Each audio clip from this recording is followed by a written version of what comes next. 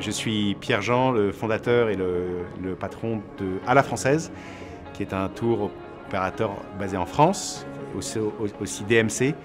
On produit et on commercialise des tours en petits groupes, euh, donc beaucoup de wine tours, de tours culturels à Bordeaux, dans les châteaux de la Loire, en Champagne, en Bourgogne, euh, en Provence et bientôt à Nice, en van, donc avec notre propre flotte de van, nos propres flottes de vélos et notre propre équipe de guides dans toutes ces belles régions de France. Voilà. C'est la première année qu'on est membre euh, d'ETOA et pour moi la première participation à GEM. Donc on a fait cette année, on a joué le jeu puisqu'on voulait tester tous les events de. Euh, on a participé, euh, pas moi personnellement, mais l'équipe, euh, à tous les événements proposés cette année.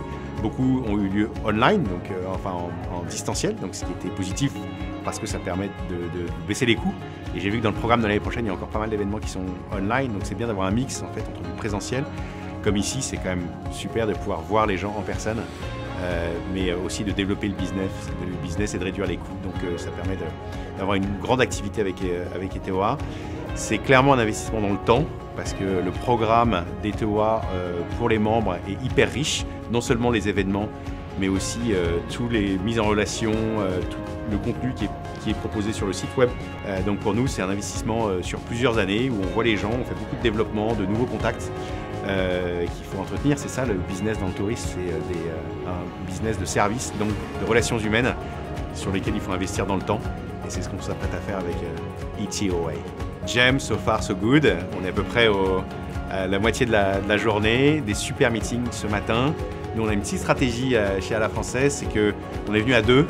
Et donc, il y a une personne de l'équipe qui fait les, meetings, les euh, meetings préprogrammés, et donc qui est bien occupé à faire le tour des tables.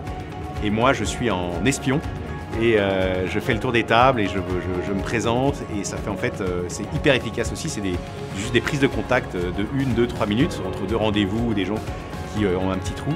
Et ça permet de vraiment maximiser notre présence ici. Donc pour l'instant, c'est hyper positif. Et évidemment, ce qui compte, c'est l'événement lui-même, mais c'est aussi notre capacité à suivre, à relancer, à faire ensuite des visio-conférences euh, et à, à développer les relations avec les gens qu'on rencontre ici.